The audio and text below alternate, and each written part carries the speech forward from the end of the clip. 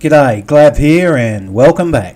Please remember, if you like these videos, hit that subscribe button and hit that like button as well. On this tour of the southwest of Thailand, we do about 2,000 kilometres and stay in the towns of Cha Am, Chumphon, Ranong, Prachuap Kiri Kan, Kanchanaburi. We visit the Erawan waterfalls, Saraburi, then home. We head out at 4am in the morning so we can be a bit naughty and take the bridge in Bangkok. We pretty much stayed off most of the major highways and took the smallest and most interesting roads we could find.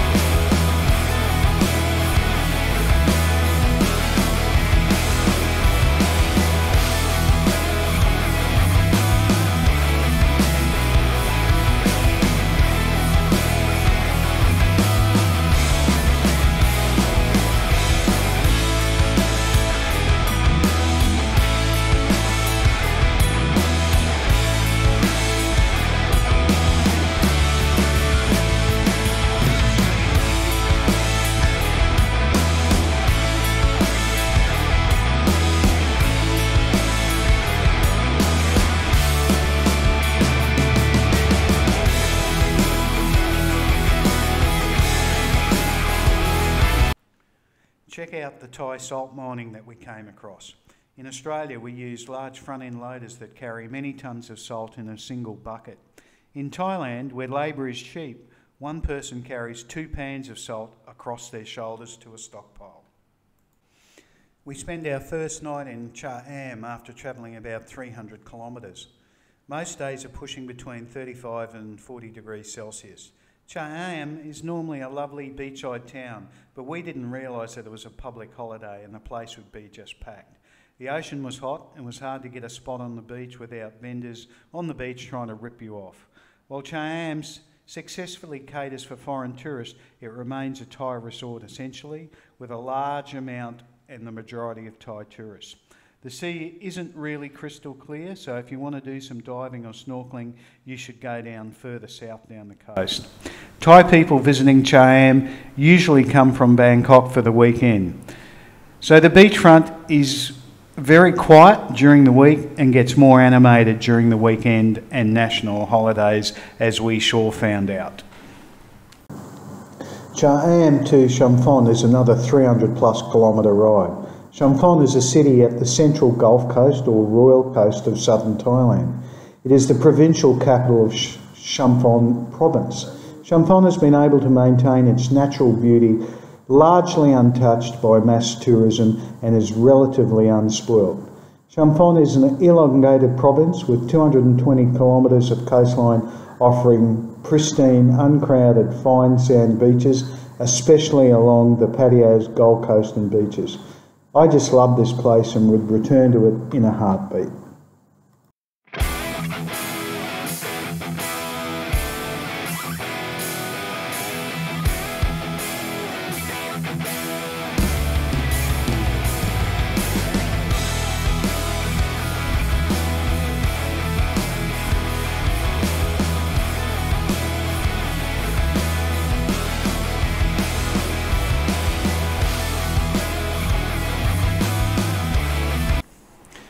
Was only a short hike in terms of the 160 kilometres distance from Chumphon to Ranong.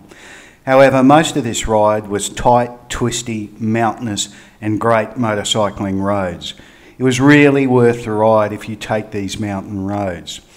Ranong, however, is a small border city with limited tourist interest.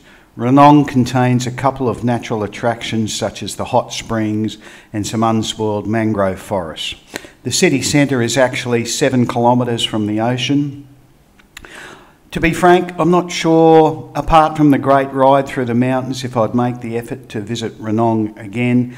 Having said that, I didn't really go out to the coastline. I have no real footage of Ranong because most of it was pretty boring city.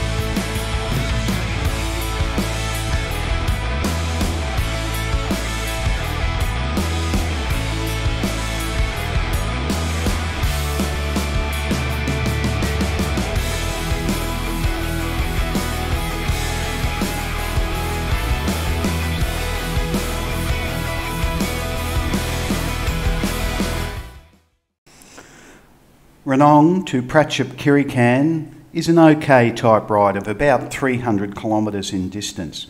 Contains some boring highway type running and also some more interesting smaller roads that we always chase. On this day, we got belted by a significant monsoonal type downpour that saw us hold up under a shop awning for a few hours, waiting out the uh, rain to stop, which, as always, it eventually did. Prachuap Kiri Kan itself was a disappointing type town for a beachside town. It didn't have an interesting beach um, and it wasn't conversant to spending time either sitting on the beach uh, nor swimming. I'm sure there's coastline near there that's uh, more interesting, but we just didn't get to see it.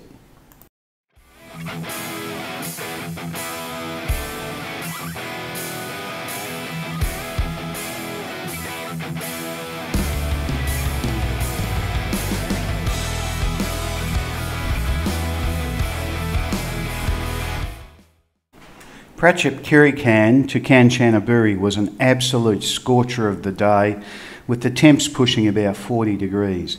A distance of about 310 kilometres, and again we followed the smallest roads we could find, nearly all back roads. I love the town of Kanchanaburi. Obviously, it's home for the bridge over the River Kwai, which I won't talk much about now because I've done another video previously on this complete area, including the bridge.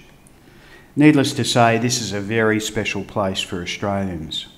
Good night had at our favourite uh, bar in Kanchanaburi, and uh, just a great place.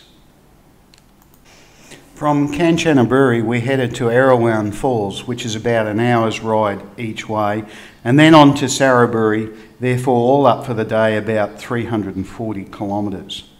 It was a bit of a logistical area on our part as it was a public holiday on the day we went to Erawan Falls, the King's coronation. Erawan Falls itself has seven sets of falls spanning across a few kilometres. Unfortunately, the Thai authorities just continued to let people pack into this national place. You literally could not move. It was hard to get a seat anywhere, and it was even harder to find a piece of water to go and soak in. I would come back here, but I'd make sure that it's not in peak season, preferably in rainy season, and was during the week and not on weekends. The entrance fees here to Erawan Falls are very expensive, in my opinion, with 100 baht for Thai nationals and 300 baht for foreigners. From Erawan, we went on to Saraburi, which is in central Thailand province. We stayed out in the boonies at a cheap uh, hotel, therefore, not much to see of Saraburi itself.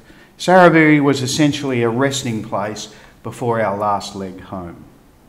On the way across from Kanchanaburi to Saraburi, we came across a Vietnam War memorial.